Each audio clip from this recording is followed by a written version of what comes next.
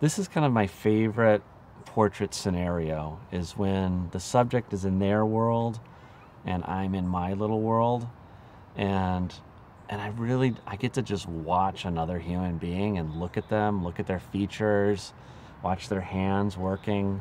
This I love. Hold that.